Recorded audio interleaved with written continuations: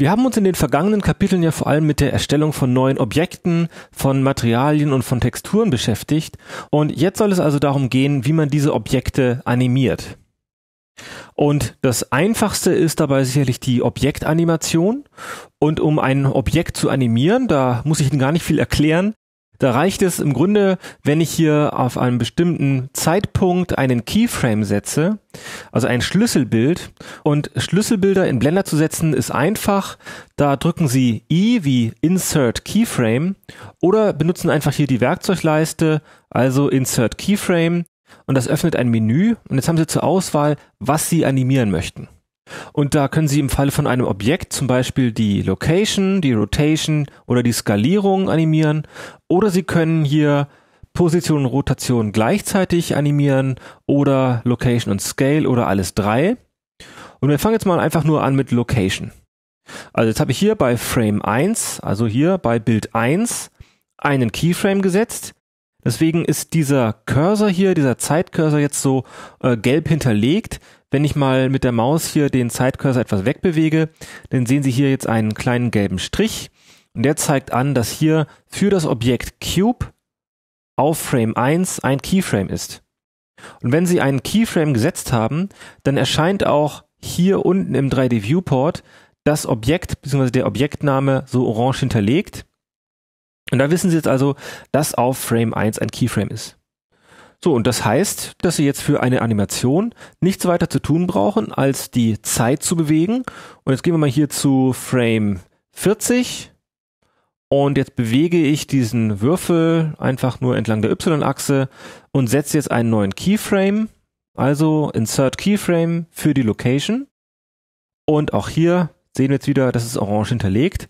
Und wenn ich jetzt auf Play drücke, dann spielt er jetzt von Frame 40 ab. Das will ich jetzt aber nicht. Und wenn ich jetzt mal wieder zurück zu Bild 1 gehe, also hier wird angezeigt, auf welchem Frame Sie sich gerade befinden. Und das setze ich jetzt wieder auf Frame 1. Wenn ich jetzt hier also auf Play drücke, dann wird diese Animation abgespielt und Sie sehen, wie sich dieses Objekt bewegt. Die Länge der Animation ist im Blender standardmäßig auf 250 Frames eingestellt. Also es gibt einen Startframe und einen Endframe, also erstes Bild und letztes Bild. Und wenn ich das jetzt mal abspiele und mal ein bisschen warte, dann, sobald hier der Zeitcursor bzw. der aktuelle Frame das Bild 250 erreicht, dann springt die Animation wieder auf Bild 1 zurück und spielt von da ab. Und diese Zeit, das sind so circa 10 Sekunden, sogar ein bisschen länger. Und zwar deswegen, weil hier in den Szeneneinstellungen eine ganz bestimmte Framerate eingestellt ist. Und die Framerate bedeutet, dass in einer Sekunde eine bestimmte Anzahl von Bildern abgespielt wird. Und das stellt man hier in diesem Dimensions Panel ein. Also hier gibt es einmal diese Einstellung für die Frame Range, also für die Frame Range, also dafür, wie lange die Animation ist. Also Startframe 1, Endframe 250. Das ist also genau das gleiche wie hier. Und dann gibt es noch die Frame Rate, also die Bildrate. Und im Moment sind das 24 Bilder pro Sekunde. Und das entspricht ziemlich genau der Kinoeinstellung. Also im Kino werden auch Filme mit 24 Frames pro Sekunde abgespielt. Im Fernsehen wäre die Framerate etwas schneller, das sind dann 25 Bilder pro Sekunde. Das wäre also so das Typische. Und mit 25 Bildern pro Sekunde wären das ja jetzt exakt 10 Sekunden. Denn wenn Startframe 1 ist und Endframe 250, dann ist es also 250 geteilt durch 25. Das sind dann 10 Sekunden. So, um jetzt diese Animation zu erweitern, könnten Sie zum Beispiel bei Frame 100 eine neue Aktion ausführen. Also zum Beispiel drehe ich den Würfel jetzt und setze einen Keyframe, also I, Insert Keyframe für die Rotation und würde jetzt ja erwarten, dass wenn ich das abspiele, dass ich zwischen Frame 40 und Frame 100 eine Animation habe, die auch aus Rotation besteht. Also gehe ich mal zu Frame 1 und spiele das ab. Aber Sie sehen schon, dass jetzt schon hier dieser Würfel so rotiert ist. Und das liegt eben genau daran, dass Sie hier nur einen Keyframe gesetzt haben für die Rotation, aber diese Rotation nicht auf Frame 40 und auch nicht auf Frame 1 gekeyt haben. Also hier haben wir nur ein Keyframe gesetzt für die Position Und deswegen wäre es eigentlich ganz praktisch, wenn man statt nur die Location zu keyen, wenn man gleich Location und Rotation keyt. Denn das sind so die beiden meist gebräuchlichen Bewegungs- bzw. Rotationsarten bei der Animation. Man kann natürlich auch noch die Skalierung mit animieren, aber in der Regel ist die Skalierung keine so häufige Eigenschaft, die animiert wird. Also jetzt gehe ich mal auf Frame 1 und sage Keyframe für die Location und die Rotation. Nichts hat sich verändert, aber wenn ich jetzt auf Frame 40 nicht nur die Position, die lasse ich jetzt einfach so, aber wenn ich jetzt noch die Rotation ändere mit R und jetzt nochmal diesen Keyframe überschreibe mit I, Insert Keyframe für die Location und die Rotation, dann, wenn ich jetzt hier zurückgehe, dann sehen Sie, dass sich dazwischen jetzt etwas tut. Also hier haben wir jetzt eine Animation und zwischen Frame 40 und Frame 100 ändert sich ja nicht mehr die Position, deswegen hat sich hier nur dieser Würfel gedreht. Wenn ich jetzt hier bei Frame 100 nochmal den Würfel woanders hin bewege, hierhin zum Beispiel, dann kann ich auch hier einen neuen Keyframe setzen für die Location und die Rotation und hätte damit jetzt also eine durchgehende Animation, wo sich sowohl die Rotation als auch die Position verändert. So, vielleicht haben Sie gerade gesehen, dass ich, als ich diesen Würfel bewegt hatte, hier auf Frame 100, da war die Bewegung, die ich ausgeführt hatte, war erstmal entlang der Y-Achse, hier rüber, und dann entlang der X-Achse. Ich gehe nochmal zu Frame 40 und zeige Ihnen, was ich gemacht hatte. Also ich hatte hier den Würfel genommen und erst hier rüber bewegt und dann nach hier. Und die Animation, die dann daraus entstanden ist, ist jetzt aber eine Gerade. Also da ist jetzt keine Ecke dazwischen. Und das ist also ganz typisch. Zwischen zwei Keyframes wird immer der kürzeste Weg genommen. Das heißt, wenn ich jetzt wirklich hier diesen Würfel entlang der Y-Achse und erst dann entlang der X-Achse bewegen will, dann bräuchte ich einen neuen Keyframe. Denn jetzt wird ja einfach diese Position genommen, dann danach diese Position und das, was dazwischen liegt, das wird einfach interpoliert. So dass wenn ich jetzt zu Frame 80 gehe, dann könnte ich jetzt sagen, also hier befindet sich der Würfel da, setze ich einen neuen Keyframe, I, Insert Keyframe und in dem Fall ist mir die Rotation egal. Ich möchte nur, dass sich der Würfel erst hierhin bewegt. Deswegen keyhe ich jetzt hier nur die Location. Und was dabei entsteht, wenn man das abspielt, das können Sie leicht sehen. Also der Würfel bewegt sich erst hier rüber und dreht sich aber währenddessen. Das ist natürlich jetzt nur eine sehr, sehr einfache Animation, aber wenn Sie jetzt hier das Timing ändern wollen oder zum Beispiel genau wissen wollen, wo ist denn ein Keyframe für die Rotation, wo ist ein Keyframe für die Position, dann hilft Ihnen da in dem Fall die Timeline nicht viel weiter. Also hier können Sie weder diese gelben Striche mit der rechten Maustaste auswählen, das geht also nicht, und Sie können sie auch nicht verschieben und Sie sehen auch nicht genau, welcher Kanal gekeyt worden ist. Nun, um das rauszufinden, dafür können Sie zum Beispiel auch hier das Properties Panel verwenden, denn hier sehen Sie jetzt die Location und Rotation, die haben hier beide eine grüne Hintergrundfarbe bekommen und das liegt daran, dass im Blender jeder Kanal und jede Eigenschaft, die irgendwo einen Keyframe hat, die wird als animiert erkannt und wird damit grün hinterlegt. Und wenn ich mal mit der Maus hier direkt auf Frame 80 gehe, dann sehen Sie, dass hier die Location jetzt gelb hinterlegt ist. Also überall da, wo ein bestimmter Kanal eine bestimmte Eigenschaft einen Keyframe hat, da wird diese Eigenschaft gelb dargestellt. Rotation ist in diesem Fall noch grün weil die Rotation, die hatte ich hier bei Frame 80 ja nicht gekeyt. Hier hatte ich nur einen Keyframe gesetzt für die Position. So dass wenn ich jetzt hier zu Frame 100 gehe, da sehen Sie jetzt, dass beide Kanäle gelb hinterlegt sind. Und wenn ich das jetzt abspiele von Frame 1, indem ich hier auf Play drücke, dann sehen Sie auch, wie sich hier die Zahlen verändern. Und zwar je nachdem, bei welchem Keyframe ich bin.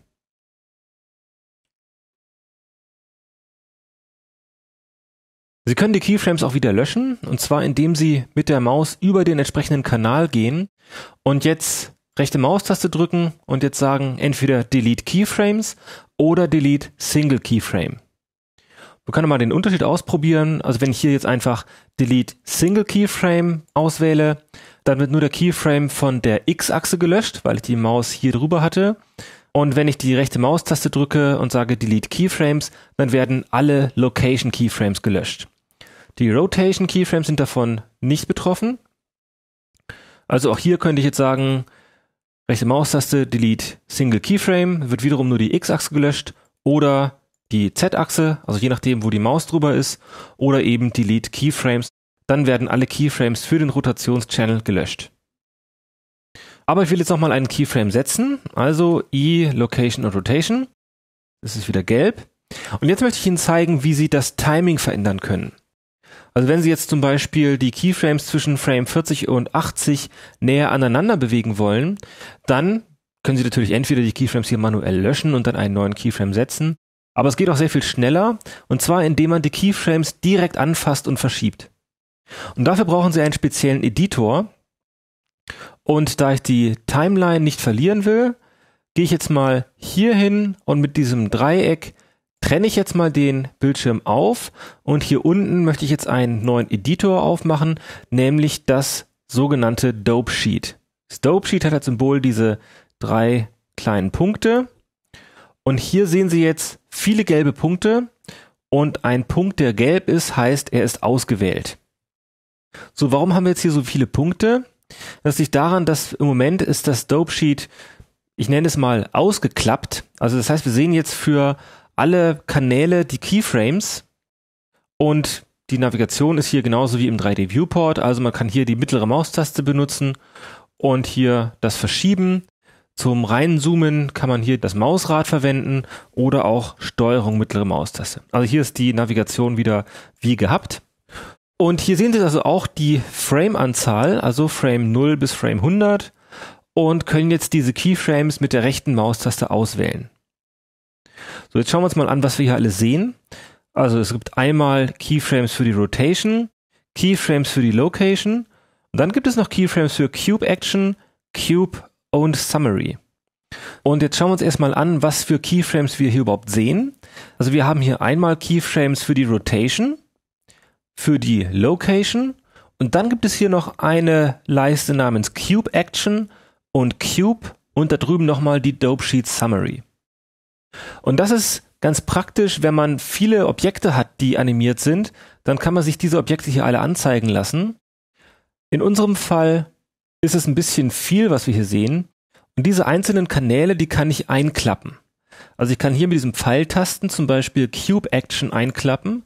Ich kann Cube einklappen und ich kann die Dope Sheet Summary einklappen. Und das ist jetzt die übersichtlichste Art der Darstellung. Und hier kann ich jetzt mal reinzoomen und hier diese Keyframes verschieben. Einfach mit der rechten Maustaste klicken, gedrückt halten und ziehen.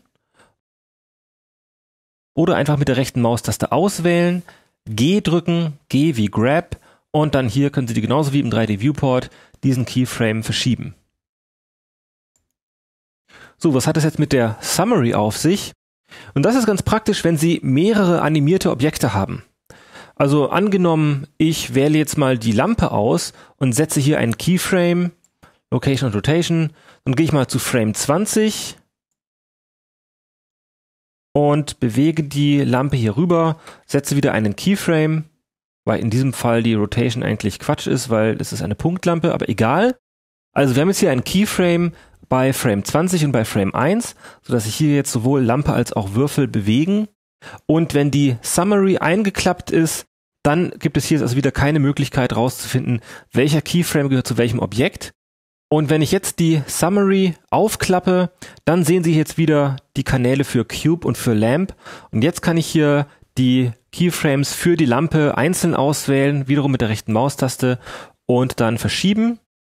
Und Sie sehen, dass hier, wenn ich den Keyframe für die Lampe verschiebe, dann wird der, ich nenne es mal der Zusammenfassungs-Keyframe, also der hier, der hier oben in der Summary angezeigt wird, also der bewegt sich dann natürlich mit, denn diese Summary ist ja nur eine, nochmal eine weitere Repräsentation von diesem Keyframe, der hier in diesem Kanal auftaucht. Also wenn ich das einklappe, dann sehe ich den hier immer noch. Und deswegen sieht es jetzt so aus, als hätte ich diesen Keyframe jetzt doppelt. Und das gleiche Prinzip kommt eben auch zum Tragen, wenn ich hier Cube mal ausklappe, und auch die Cube Action. Dann sehe ich hier wieder Location und Rotation, so dass wenn ich Cube zusammenklappe, dann kann ich hier sowohl Rotation als auch Location verschieben. Und wenn ich das aber voneinander trennen will, dann kann ich Cube wieder ausklappen. Also kann jetzt hier auswählen einen Keyframe für die Location und kann den jetzt hier auch bewegen Und in dem Fall bewegen sich alle vier, denn es ist wieder nur die Zusammenfassung. Also Cube Action ist die nächsthöhere Ebene, darüber ist Cube und dann wieder die Summary. Deswegen bewegen sich jetzt hier vier Keyframes. Und auf diesem Frame, da hatte ich gar kein Keyframe für die Location gesetzt. Das wäre aber hier der Fall, so dass wenn ich jetzt hier wiederum hingehe und diesen einen Keyframe für die Location auswähle und mit G bewege, dann trennt sich das jetzt hier auf. Wiederum sieht man hier die drei darüberliegenden Keyframes und die haben wir jetzt aber auch hier bei der Rotation, denn auch die Rotation, die gehört natürlich zu der Cube Action, zu dem Cube, zu der Summary. Also so kann man hier mit diesen einzelnen Kanälen arbeiten und auch diese Kanäle kann man aufklappen und dann nochmal für die XYZ-Achse die Keyframes auch einzeln verschieben. Also man hat hier wirklich eine sehr kleinteilige Kontrolle darüber, was hier bearbeitet wird und kann das aber auch, wenn einem das zu unübersichtlich wird, kann man das aber auch wieder zusammenklappen alles und dann das Timing insgesamt bearbeiten. Ich will das jetzt schneller machen, deswegen müsste ich die Keyframes näher zusammenbringen. Und näher zusammenbringen, das würde bedeuten, man skaliert das. Und deswegen, und das kann man sich gut merken, ist auch hier der Keyframe wiederum S. Also S wie skalieren. Und jetzt skaliere ich diese Keyframes und bringe die also so viel näher zusammen. Und Sie sehen, dass diese Skalierung ausgeht von dem Zeitcursor. Ist also eigentlich vergleichbar mit dem 3D-Cursor. Wenn ich hier den Pivot-Modus auf 3D-Cursor setze und jetzt skaliere, auch dann skaliert sich jetzt ja diese Lampe zu dem 3D-Cursor hin. Und genauso funktioniert das auch in diesem Dope Sheet Editor. Das heißt, wenn ich hier den Zeitcursor nach links bringe und S drücke, dann wird jetzt in diese Richtung skaliert und jetzt kann ich das also alles etwas schneller ablaufen lassen. Das heißt, wenn ich jetzt die Animation hier starte und dafür verwende ich jetzt mal den Shortcut Alt A, dann ist das Ganze jetzt also sehr, sehr fix. Natürlich kann man das auch wieder verlangsamen, indem ich nochmal S drücke und das skaliere. Und jetzt, wenn ich jetzt nochmal Alt A drücke, dann ist das natürlich jetzt eine sehr, sehr langsame Animation. Und so kann man also mit diesem Dope Sheet hier das Timing verändern und zwar sowohl für alles gleichzeitig oder man klappt das aus und kann jetzt die einzelnen Kanäle bearbeiten. Nun, was hat das jetzt mit dieser Action auf sich? Nun, diese Cube Action, das folgt wieder dem User-Prinzip von Blender. Das heißt also, die Animation, die ist nicht direkt an dem Würfel dran sozusagen, sondern der Würfel verwendet eine Aktion, eine Action und diese Cube Action, die verwendet dann wieder bestimmte Animationskurven. Das sehen Sie auch hier oben, also dieser Würfel, der hat jetzt hier diesen Pfeil, daran sehen Sie, der ist jetzt bewegt, der ist animiert. Und jetzt sehen Sie hier, also das gibt nicht nur die Object Data, sondern als extra Punkt gibt es hier noch die Animation Data. Wenn ich hier mal reingehe, dann gibt es hier also diese Cube Action und in dieser Cube Action, da liegen die Animationen drin. Und diese Action, die kann man sich auch mal anschauen. Also hier kann ich mir diese Action gesondert angucken. Und zwar, wenn ich die Ansicht im Dope Sheet ändere von Dope Sheet auf Action Editor. Und dieser Action Editor, der zeigt mir jetzt ausschließlich die Aktion, also die Animation von diesem Würfel an. Also es gibt ja noch hier diese Summary, aber diese Summary, die zeigt mir jetzt eben nur noch die Zusammenfassung an von sämtlichen Keyframes, die hier von dieser Action verwendet wird so dass wenn ich das jetzt einklappe, dann kann ich wieder alles hier an Animation bewegen. Man kann diese Zusammenfassung auch ausschalten mit diesem Button hier, also Summary. Und jetzt gibt es hier nur noch die Kanäle für Rotation und Location und kann das jetzt wiederum einzeln hier bearbeiten. So, und der Unterschied zu diesem Dope Sheet Editor ist jetzt also nicht nur, dass hier ausschließlich die Animation von dem Würfel angezeigt wird, sondern dass eben auch der Link zu den Animationsdaten zu der Action hier angezeigt wird, so dass ich hier also auch diesen Link verändern könnte. Also kann ich jetzt hier, während der Würfel ausgewählt ist, kann ich den Link ändern von der Cube Action zu der Lamp Action. Und wenn ich jetzt mal auf Alt A drücke für Animation, dann müsste eigentlich der Würfel jetzt woanders hinspringen.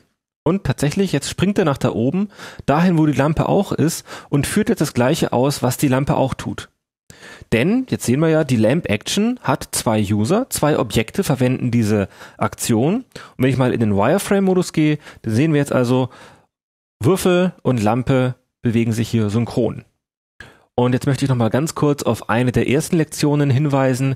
Also hier in der Object Data, da wissen wir ja, gab es die Delta Transform, so dass wir jetzt hier, wenn zwei Objekte die gleiche Aktion, die gleiche Animation verwenden, können wir jetzt trotzdem hier noch eine separate Rotation und eine separate Position vergeben, indem wir die Delta Transform Eigenschaften verwenden. Also hier kann ich jetzt dem Würfel sagen, dass er einen Offset hat von dieser Lampe, dass er auch eine andere Rotation hat. Und wenn ich jetzt nochmal Alt A klicke, dann ist zwar die Bewegung an sich gleich, aber eben mit diesem Offset. Also dafür kann man dieses Delta Transform verwenden. Und das stelle ich jetzt mal zurück auf 0. So. Also jetzt sind wieder Würfel und Lampe synchron. Und nun kann man aber auch die Lampe auswählen und der Lampe wiederum eine andere Action zuweisen. Also jetzt wähle ich wieder die Lampe aus und gehe jetzt hier hin und wähle aus Cube Action. Sie sehen ja auch im Moment ist für der Cube Action eine Null, weil im Moment gibt es keinen User für diese Action. So, und jetzt haben wir das Ganze umgekehrt. Also die Lampe bewegt sich und der Würfel bewegt sich hier oben. Jetzt mache ich das mal wieder rückgängig. Also so kann man hier mit dem Action Editor einstellen, welches Objekt welche Animationsdaten verwendet. Und wenn man jetzt zum Beispiel diesen Würfel dupliziert mit Shift D, das kennen wir ja schon, dann verwendet dieses Duplikat von diesem Würfel auch die gleiche Animation. Diesen Graph Editor, den kann man öffnen hier, indem man den Editor wechselt von Dopesheet zu Graph Editor. Und Sie sehen jetzt hier also die einzelnen Animationskurven. Und natürlich kann man auch hier wieder mit dem Mausrad rein und raus zoomen, beziehungsweise mit der mittleren Maustaste hier den Ausschnitt bewegen. Und ich zoome jetzt mal etwas raus und sehe hier diese Kurven. Aber vielleicht schauen wir erstmal hier nach links. Hier sehen Sie jetzt ja das Objekt Cube.001 und sehen auch die Aktion, die dieses Objekt Cube.001 verwendet. Und Teil dieser Cube Action sind eben diese Kurven. Und ich möchte mir jetzt mal diesen Viewport extra teilen, damit ich nicht nur meinen Graph Editor habe, sondern gleichzeitig noch das Dope Sheet. So, das brauche ich jetzt mal nicht zu sehen, deswegen klappe ich das komplett ein.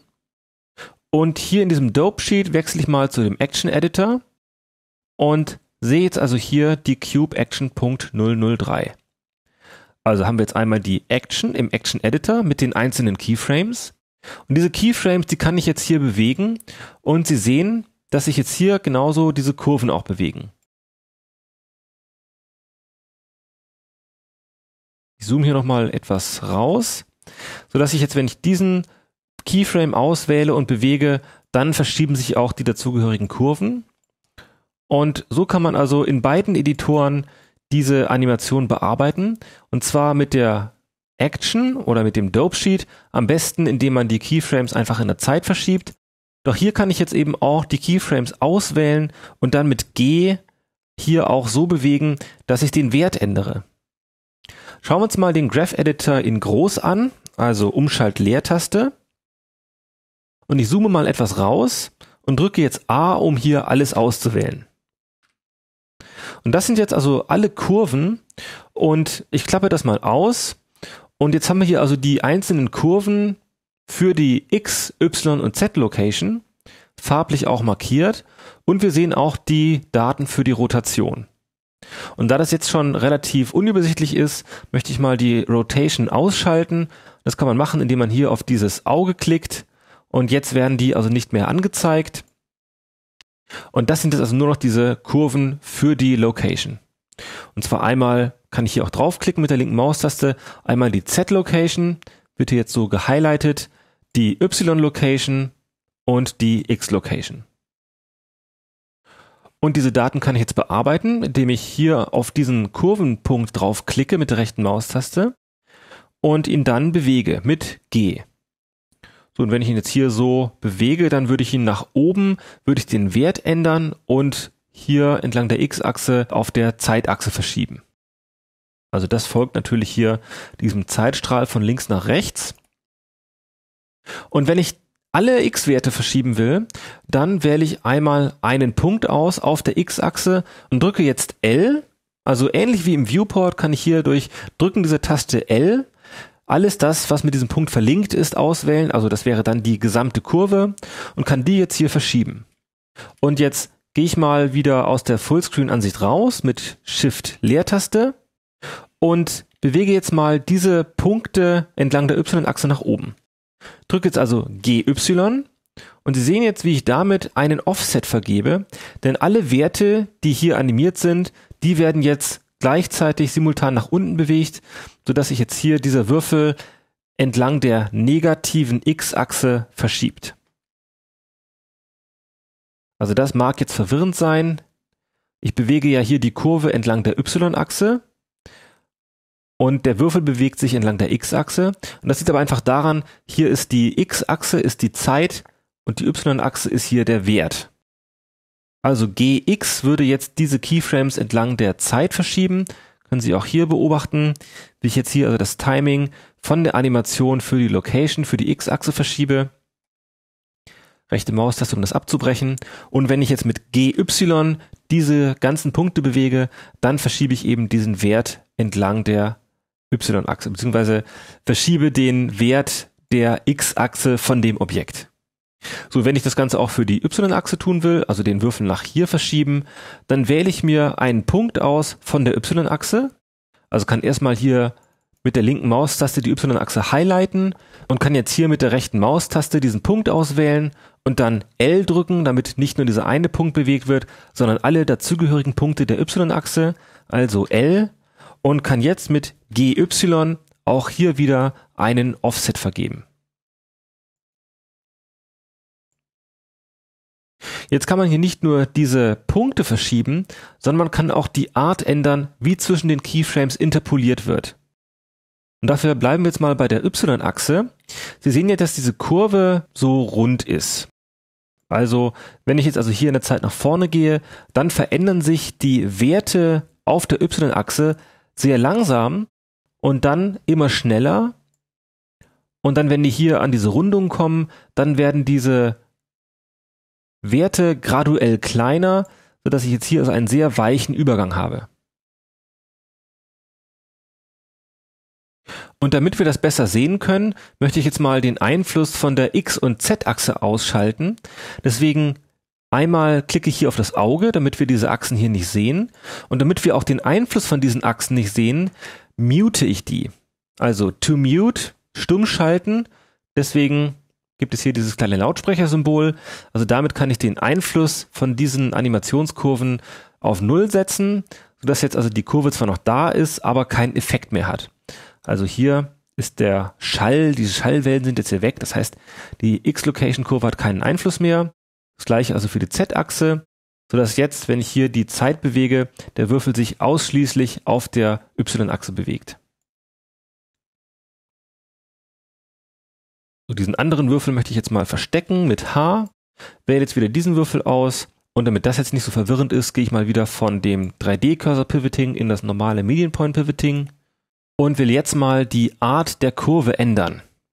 Diese Kurve, die hat hier unten Einstellungen, nämlich einmal für den Channel, also welchen Kanal man sieht, ob er sichtbar ist oder nicht, also im Grunde das, was wir jetzt hier gemacht haben. Dann gibt es hier die Einstellungen für die Keyframes. Und hier kann ich jetzt eine Sache ändern, nämlich den Interpolation Mode. Und zwar gibt es da die drei Optionen, konstant, linear und Bezier. Und im Moment sind wir halt in diesem Bezier-Modus. Das heißt, die Bezier-Kurven, das sind immer diese Kurven mit diesen Handles, mit diesen, ja, wie, wie so Stricknadeln, mit diesen Anfassern, die man auch separat bewegen kann, um den Kurvenverlauf zu ändern. Und ich drücke jetzt nochmal L, um alles auszuwählen. Jetzt kann ich hier bei Key nochmal den Interpolation Mode ändern von Bezier auf linear.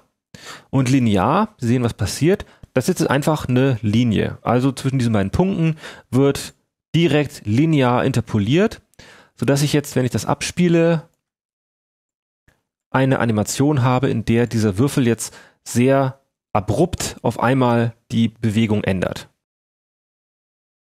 Und dadurch, wie man hier diesen Übergang zwischen diesen einzelnen Animationskurven einstellt, kann man auch die Art der Bewegung natürlich kontrollieren. Das heißt, wenn jetzt der Würfel hier so abrupt starten soll, dann kann ich diesen Punkt auf linear stellen. Dann kann ich aber auch diesen Punkt auswählen und mit Key Interpolation Mode Bezier diesen Punkt in eine Bezier-Kurve verwandeln, sodass jetzt der Würfel hier relativ abrupt die Richtung ändert, aber dann nicht so schnell wieder sich zurückbewegt, sondern sehr langsam. Und dieses Verharren auf einer Position, das kann ich auch noch etwas betonen, indem ich hier diesen Kurvenanfasser nehme mit der rechten Maustaste und dann mit GX hier entlang der X-Achse bewege und vielleicht auch etwas nach oben. Und jetzt sehen wir, dass hier eine Form entsteht, wo das hier fast eine Gerade ist. Das heißt, dass sich hier dieser Wert auf der Y-Achse nur sehr wenig, nur sehr minimal ändert, haben wir jetzt hier auch kaum Bewegung und ich schalte jetzt auch mal die Rotation aus mit diesem Lautsprechersymbol, und zwar für alle drei Kanäle. So, also jetzt ist das ein bisschen deutlicher. Also wir haben jetzt hier diesen abrupten Stopp und dann aber verbleibt dieser Würfel auf dieser Position so lange, bis diese Kurve wieder steiler wird und dann wieder zurückbewegt. Der dritte Modus ist der sogenannte Constant Mode und auch den kann ich jetzt mal mit dem Shortcut T einstellen. Also ich wähle erstmal alles aus mit A und drücke jetzt T und kann jetzt auch hier wieder die Interpolation ändern für alle Keyframes und wähle jetzt hier mal Constant. Und jetzt sehen Sie hier dieses gezackte Muster und hier passiert einfach keine Interpolation. Also das heißt, erst ist der Würfel hier und bei dem nächsten Keyframe, dann ist er dann auf einmal da, bleibt da so lange, bis er zu dem nächsten Keyframe kommt und verändert dann die Position. Und dieser Modus ist natürlich nicht sehr ansehnlich, aber ist sehr gut geeignet, um die Animation zu überprüfen und um zu schauen, wie dieses Objekt an welchem Frame aussieht, ohne diese Interpolation dazwischen.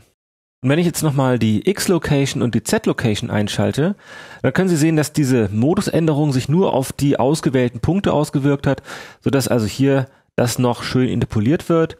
Und wenn ich jetzt mal diesen Lautsprecher wieder einschalte, also diesen Effekt von diesen beiden Kurven noch dazu schalte, dann haben wir so einmal eine sehr abrupte Positionsänderung für die Y-Achse, aber bei X- und Z-Achse, da haben wir noch diese sehr weiche Interpolation. Damit hat man also viele Tools, um diese Kurven zu steuern.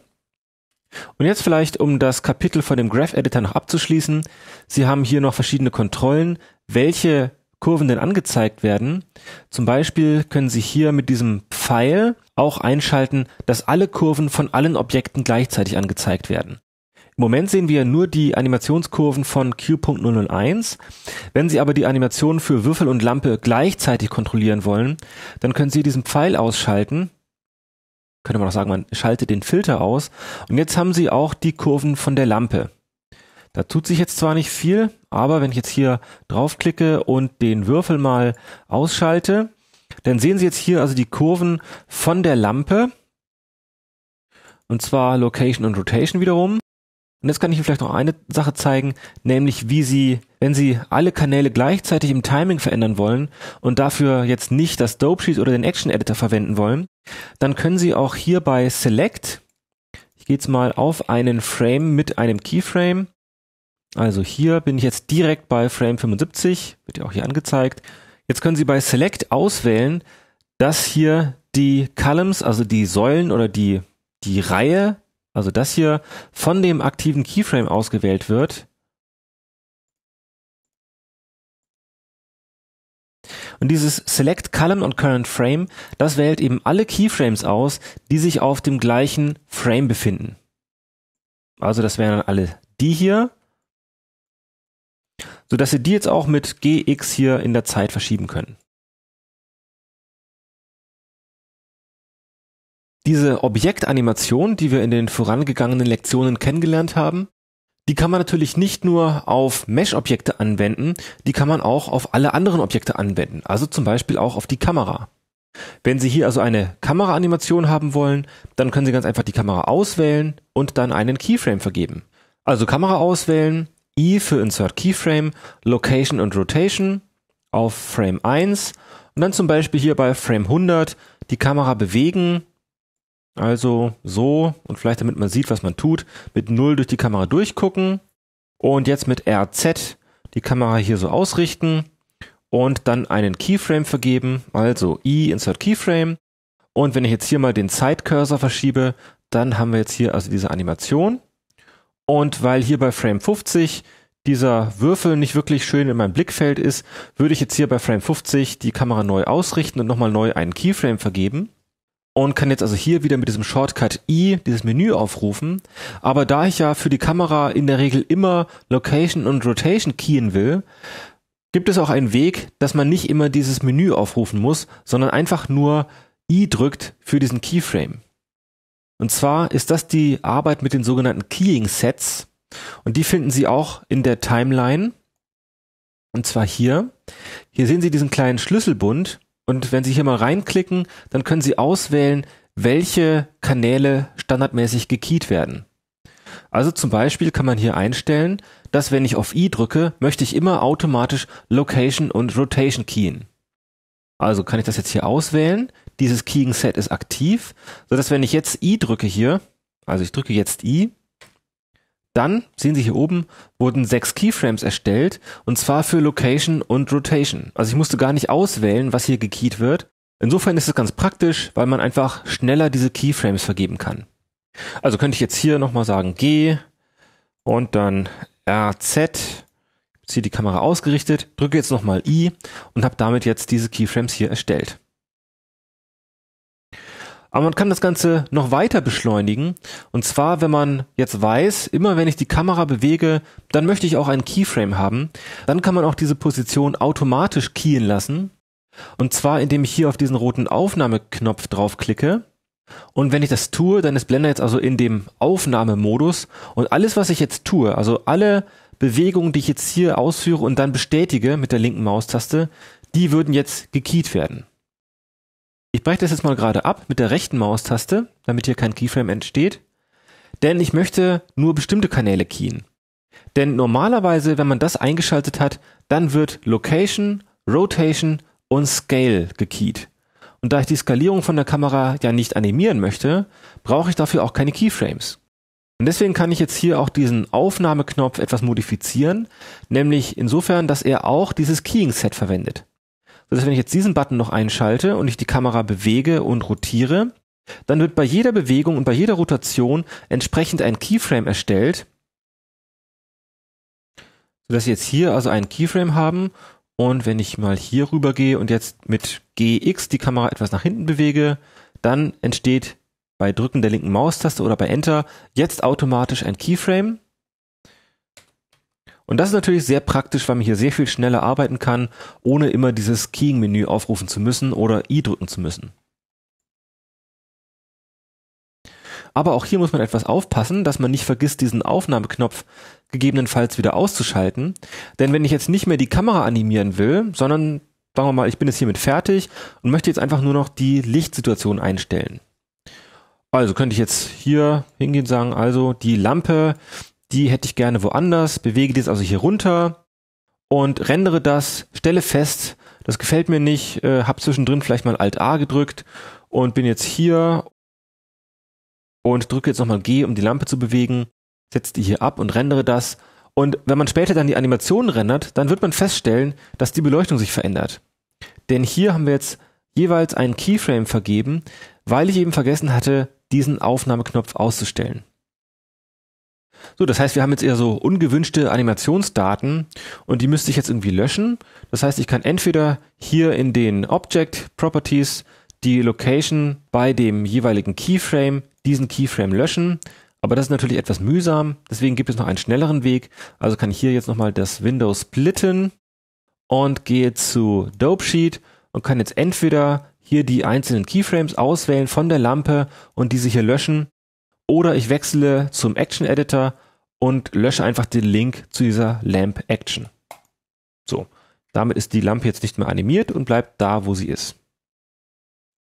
Also hier muss man immer aufpassen, dass man den Aufnahmeknopf gegebenenfalls wieder ausschaltet, damit es hier nicht zu ungewollten Animationen kommt.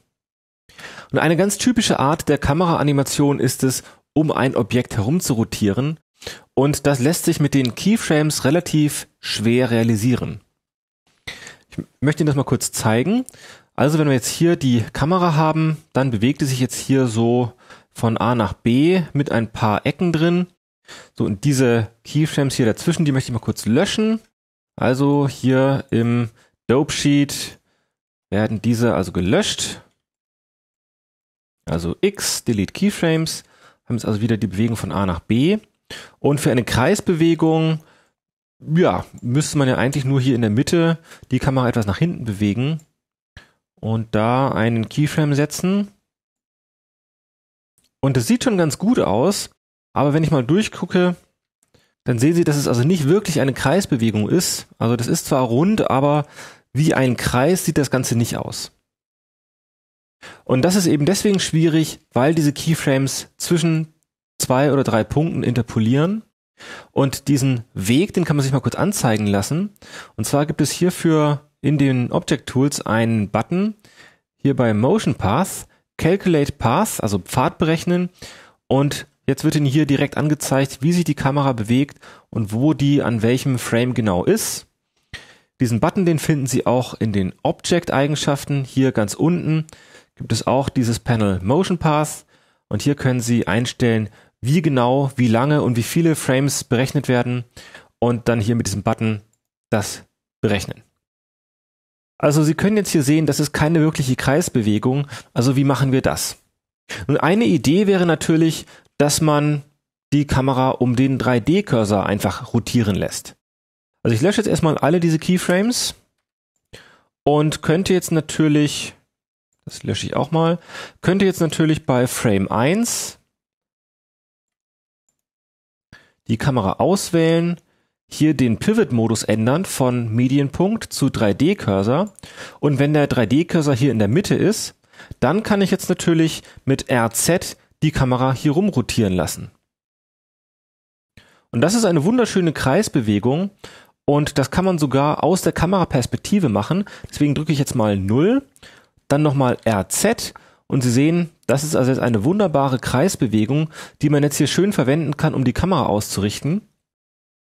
Das kann man natürlich auch in dem lokalen Modus machen. Also wenn ich jetzt drücke RXX, dann sehen Sie jetzt sogar hier im Viewport die Achse, um die jetzt gekippt wird. Also hier kann man auch die Kamera so ausrichten.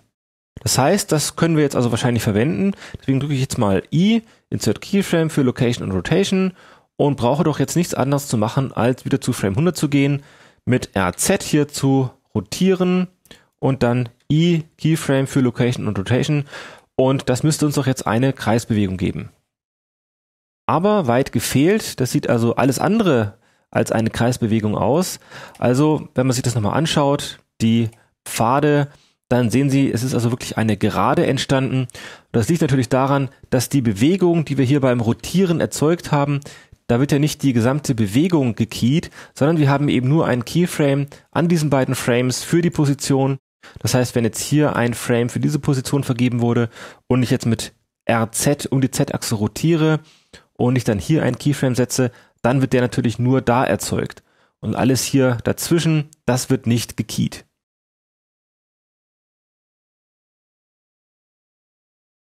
Um also mit dieser Methode einen perfekten Kreis zu erzeugen, müssen Sie im Grunde für jeden Frame hier, für jede Position einen Keyframe setzen.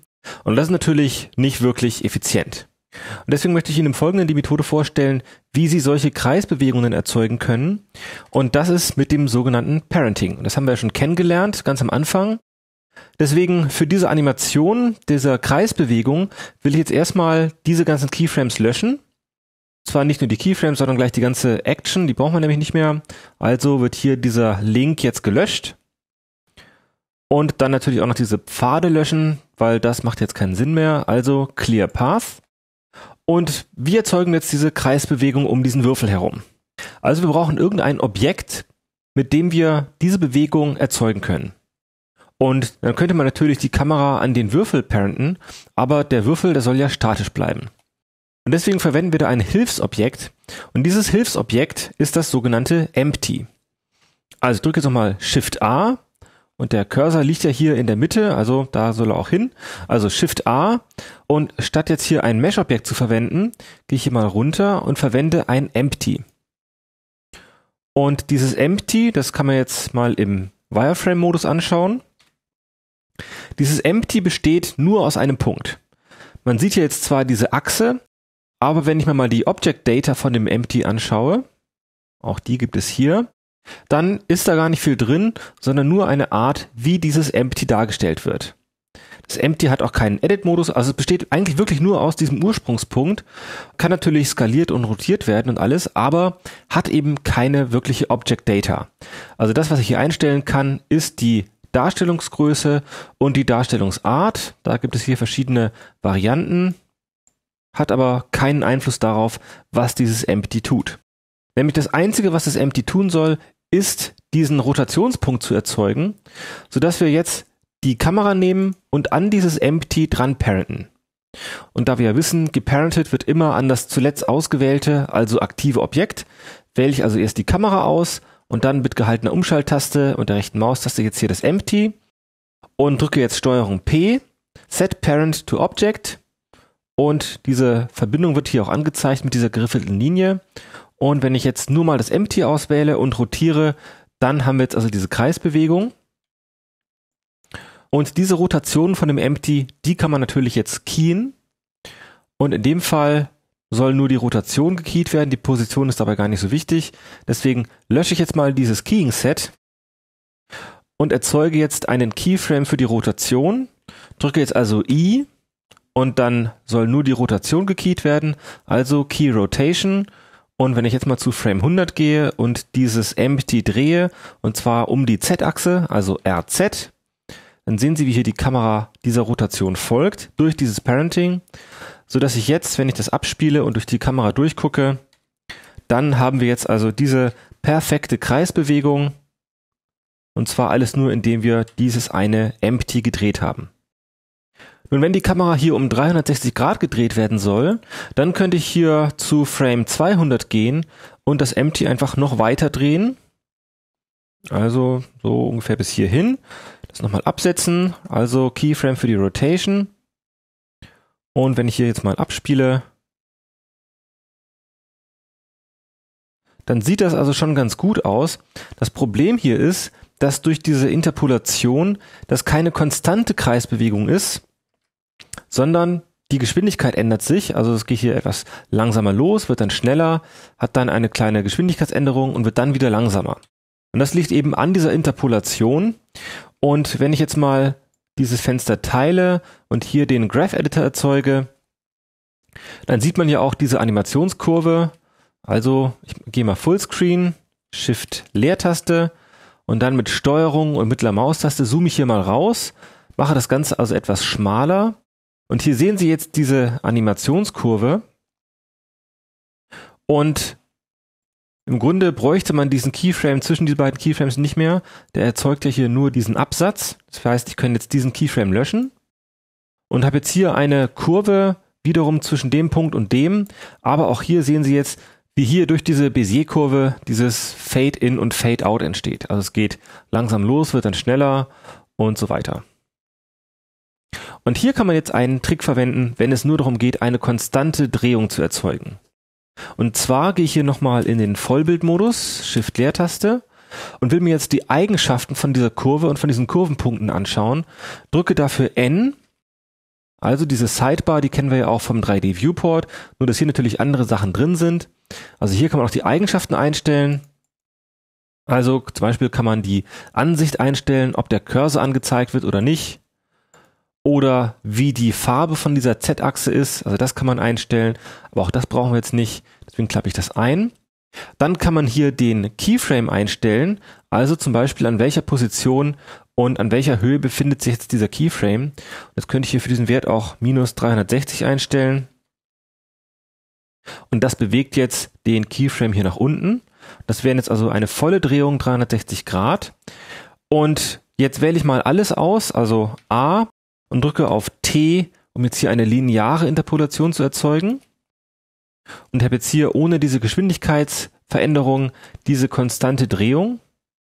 Allerdings hört diese Drehung dann auch irgendwann auf. Also nach 360 Grad stoppt die Kamera. Und jetzt kann es ja sein, dass man eine Drehung haben will, die hier konstant ist, also die hier auch weitergeht. Und dafür gibt es jetzt eine ganz interessante Methode.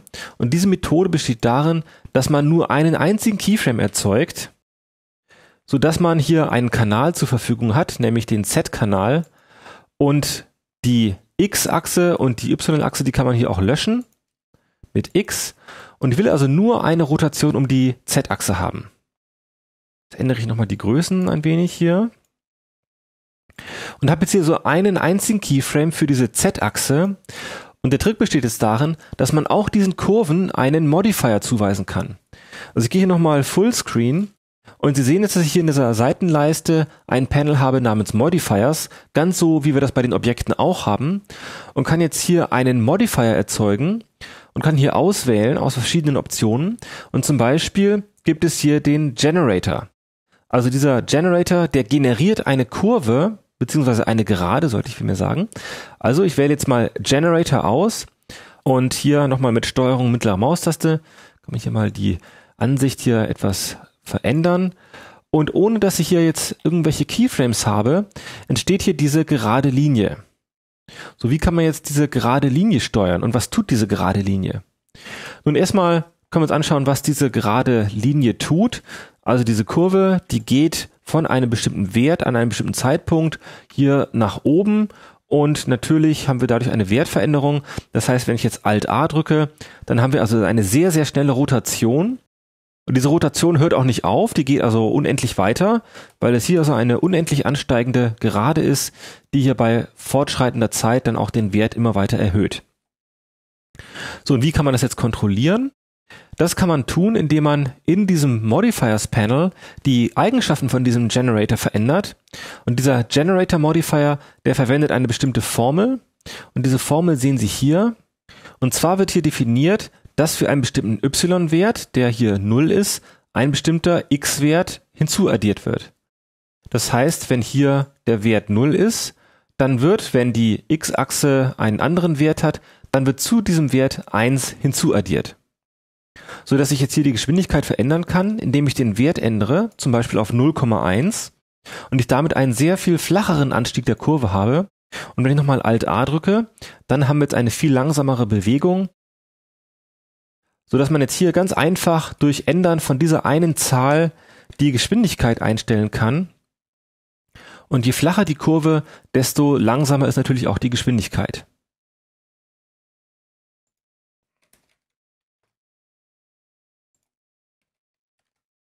Also so kann man hier mit diesen Modifiern von den Kurven die Geschwindigkeit und die Bewegung beeinflussen. Man könnte zum Beispiel auch noch einen zweiten Modifier erzeugen. Also nach diesem Generator erzeuge ich jetzt einen zweiten Modifier, nämlich zum Beispiel den Noise Modifier. Und dieser Noise Modifier, der erzeugt hier ein Noise, also einen Zufallswert. Und den kann ich hier auch mit diesen Eigenschaften einstellen, sodass hier dieser Würfel, dadurch, dass diese Kurve jetzt hier so gezackt verläuft, mal vor, mal zurückgeht und das Ganze also eine sehr ungleichmäßige Bewegung ist.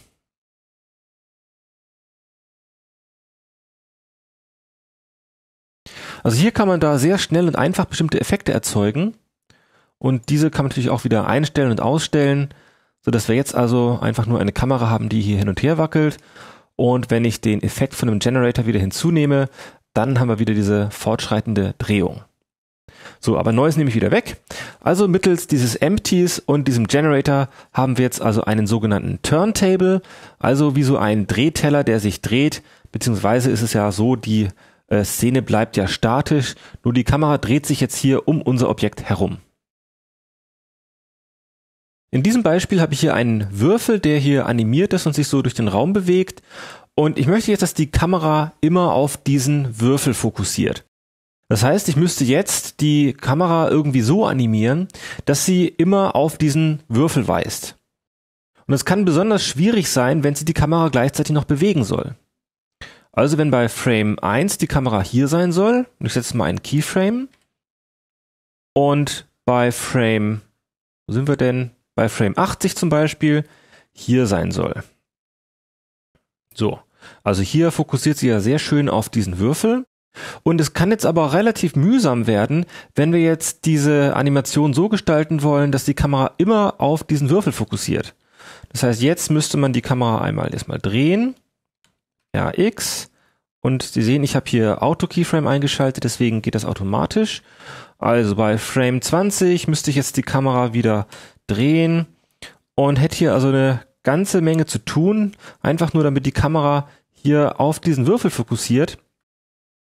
Und sobald ich jetzt die Animation von dem Würfel ändern würde, müsste ich auch die Kameraanimation ändern. Also das ist hier sehr mühsam und es gibt da eine viel einfachere Art, dass die Kamera immer auf diesen Würfel fokussiert. Und ich möchte jetzt erstmal hier die Animation von der Kamera wieder löschen, beziehungsweise hier diesen einen Keyframe. Denn was wir hier jetzt verwenden können, sind die sogenannten Constraints. Und diese Constraints, das sind wie so logische Verkettungen zwischen Objekten. Und wenn ich mal hier in dem Eigenschaftenfenster schaue, dann gibt es hier dieses Verkettungssymbol. Und dieses Verkettungssymbol, das sind die Object Constraints. Also diese Constraints können ganz unterschiedliche Dinge machen. Und was wir wollen in diesem Fall ist ein Track Constraint. Also Track heißt, dass die Kamera immer auf einen bestimmten Punkt ausgerichtet ist. Da gibt es jetzt verschiedene Varianten und ich möchte einfach mal den einfachsten von diesen Tracks verwenden. Und der einfachste ist der Damped Track, also der gedämpfte, abgefederte Track. Und Sie sehen, dass wenn ich den anwende, dann habe ich hier erstmal ein rotes Feld und dieses rote Feld ist eine Warnung, dass hier etwas fehlt. Das heißt, man muss diesem Constraint noch eine Information geben, nämlich das Ziel, das Target, also auf welches Objekt soll die Kamera ausgerichtet sein. Und das kann ich hier jetzt auswählen und dieses Objekt soll natürlich der Würfel sein. So, jetzt habe ich hier drauf geklickt und es passiert was ganz komisches, nämlich die Kamera guckt überhaupt nicht auf diesen Kubus, sondern ganz woanders hin. Und das liegt daran, dass hier die Standardeinstellung nicht so glücklich gewählt ist, nämlich der Default, also der Standardwert ist hier der Y-Wert, also die Y-Achse. Und wenn wir uns das mal anschauen mit dem lokalen Orientation Widget, dann sehen Sie, dass jetzt hier die Y-Achse von der Kamera auf diesen Würfel weist. Und was wir aber wollen, ist, dass die Z-Achse, und zwar die negative Z-Achse auf dieses Objekt weist. Deswegen kann man jetzt dieses Ziel ändern von y auf minus z und siehe da, jetzt ist die Kamera direkt auf den Würfel ausgerichtet. Und wenn ich jetzt mal 0 drücke und Alt A, dann dreht sich jetzt diese Kamera also immer so mit, dass sie immer auf diesen Würfel ausgerichtet ist. Und zwar trotz ihrer Animation. Das kann man auch mal in der Quad View anschauen. Also Shift Spacebar, Steuerung Alt Q und hier haben wir jetzt also die Kameraansicht und hier die drei orthografischen Ansichten. Also trotz der Animation hier von A nach B folgt die Kamera jetzt immer dieser Rotation und bleibt immer auf den Würfel ausgerichtet. Jetzt gibt es noch ganz unterschiedliche Constraints, zum Beispiel Copy Location und Copy Rotation werden auch häufig verwendet. Später lernen wir noch den Camera Solver und Follow Track Constraint kennen. Aber in diesem Fall für die Kameraanimation reicht also dieser Damped Track aus.